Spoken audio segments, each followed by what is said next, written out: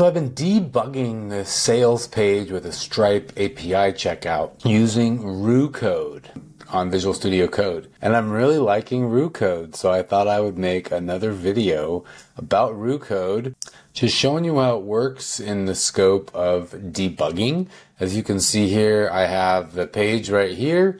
You can see my error, failed to create checkout session. You got my browser console over here. Then you got my terminal running the local Next.js project on port 5173. And then we got the Roo Code agent here. I've got it connected to Claude Sonnet 4 uh, through Anthropic. And I'm really enjoying a few things. So first off, you got these different modes. You got the coder, which obviously codes, the architect, which makes more of like plans, ask, ask a questions, and then debug, and then the orchestrator, which I haven't even used the orchestrator yet. And if you don't know what it does, you just go here to edit, and then you can see the orchestrator's mode. So the definition, a strategic workflow orchestrator who coordinates complex tasks by delegating them to appropriate specialized modes. You have a comprehensive understanding of each mode's capabilities and limitations. Okay, breaking down problems to discrete tasks, when to use multi-step projects that require coordination across different specialties. Okay, that probably is for something far more advanced than what we're working on here. But I've been using debug because, like I said, I've got this Stripe API checkout. And it's just been cool having these different ro- roles on Roo code because on Cursor, you kind of just have to have a, a system prompt there and you would just change it change your profile based on what you were doing. And anyway, I just like the interface here. I'm not a coder. So the real thing that I really like these IDEs, the integrated development environments for, is for organizing projects, which I did in a recent video where I worked on these course materials and then turned it into this sales page that I'm actually debugging now, and you can check that out. But really, if you're trying to use AI to create things, to create products, to create information in different presentation modes, I guess. I really like this IDE interface. That's my point here. So I am actually debugging code though today, and I just wanted to show you a little more of Roo code. And okay, so it's asking me, okay, it doesn't have access to my environmental variables file. That's normal. So let's see, it wants to run the command. Now I have auto approve more or less everything is approved. You can just toggle them on and off. And I have max requests unlimited, which is cool. On Cursor, it's limited to 25. And honestly, I don't know, maybe you can change that on Cursor. I never saw a setting for it. But here, wow, okay, so it's using its own little browser. That's neat. Oh, wow, yeah. So I pulled it up. It's the same thing I got over here. It pulled it up Wow, so it's using web vision here. And we can see up here in Roo code, this is the total context length, the context window. So if, if I showed you on cursor here real quick, if we open a if we open a cursor window, you can see in Claude 4 Sonnet Max mode, you have a 200,000 context window. And in normal mode, you have a 120,000 context window. By comparison, Gemini in the normal mode has 120,000, but in max mode has a million. So this could become very helpful with bigger projects or really longer conversations. And the longer the conversation goes, the more context the, the agent has based on what you've been working on. And that's, in my experience, it means the more time before you go through what we're calling death spirals, where everything you do in it could be in bolt, lovable, and replit. Like the conversation window of time has just run out, and so anything you do just doesn't help. You're kind of like going backwards. So all that to say, in Roo code, it shows you where you're at in your conversation context window and how much it's costing you. I think that is super helpful for just remaining more sustainable in your vibe coding because it's easy to get lost. I mean, on Cursor, I already racked up a bill for like over a hundred dollars for half a month, two weeks. So I think this helps us be a bit more responsible too, which means we're going to become more efficient because we're going to become more cost effective. So I think that's just an important kind of principle. So now it's asking, do I have my Supabase project credentials? oh, so we just figured out the problem, which is really silly of me, but, uh, and I didn't copy over the environmental variables, so I don't even have anything here.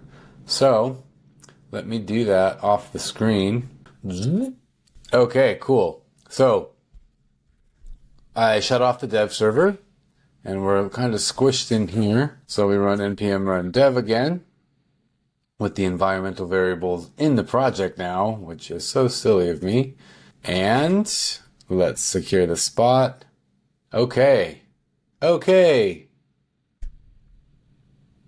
Well, something's happening.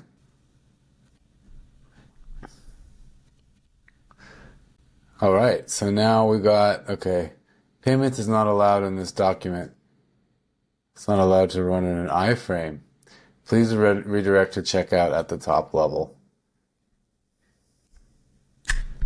So we copy that and we go in here and I'm just going to start a new conversation because something else was going on there. Pop that in there.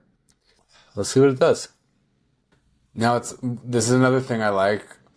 Do you want me to direct, redirect, replace the current page with Stripe checkout, recommended by Stripe? Open a new tab. Yeah, I want to do that one. So I like being able to just choose. I don't have to type it. But if I do want to type something else, I just click this little write button and then it pops in the option there and I can keep writing. I can say, but also do yada, yada, yada, yada, yada. All right. So now it's sending another one. Where are we at? 18 cents in this one. You get plenty of requests with cursor but for some reason, if I'm not using Sonnet Max in Cursor, if I'm not in max mode using it just it doesn't seem to get as much done. I mean, look, this is clearly max mode because we have 200,000 token context limit, right? Context window. But here in if we're not in max mode, this is built per token, which should just be just like this. So I don't know. I feel like I might just be paying Cursor an extra 20 a month. And we can see how much we're getting done with just cents here. So, uh, interesting to think about. Now, this isn't happening the way I want it to. I don't want it to go to the Stripe page. What does this look like? Yeah, this is just a checkout page. I don't even have to integrate Stripe to do that. Okay, so here's what I'm going to do. Because I want to just have a modal. kind of like that, but I want to just have a modal, like a pop up. And I feel like that's better for sales as well, because you can keep more information there. Yeah, I could literally just have put a link to the Stripe payment link here. And then why would I need Bolt? Why would I need uh, Cursor, Roo Code? Why would I need, why would I need AI? So uh, that's a little feels a little defeated, defeating there. So here's what I'm going to do. I'm going to close. Gonna, I got to stop this guy over here. Come on. How do I stop? Cancel. Okay. Terminate. Okay. Uh, control C is to stop the development server. And whoop, and then I'm to put git add period and git commit. We're to say stripe redirect, fix, and git push. So that's staging all the files, making a new commit, and sending it to GitHub. So like at least if nothing else, this works. It goes to the sales page. But now I am going to change it to use a modal. And just in case it takes too long or doesn't work, I am going to just revert back to this very commit I just made if I need to. Otherwise, I'll just do this and then commit it and then it'll be what I want. I want the Stripe checkout to be a pop-up modal on the web page. It can't be an iframe, so it must be a form that then uses Stripe API Supabase Edge functions to process upon submit. Okay, that's all. We're already using Supabase Edge, Supabase Edge functions, even though it's not necessary the way it did this, which is kind of hilarious. But we have the Supabase Edge functions in there. We're using the Stripe API already. We may as well make it the most optimal sales page it can be, right? Look at this. Samcart is a very well known and respected like uh, checkout service. So you can just put things on your page like the way you want. Embedded checkout. So you can just put a checkout on your page like this. And there's templates and it's awesome. But look how much it costs. It's $79 a month. Then if you're paying $20 for cursor, suddenly you're not really feeling, uh, you know, that cursor is so expensive. $79 a month for an embedded checkout when, look, I'm at 18 cents so far using Roo Code and the Anthropic API. Food for thought.